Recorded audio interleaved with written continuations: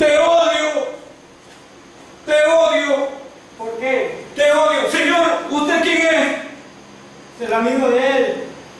¿Y quién es él? El amigo de él.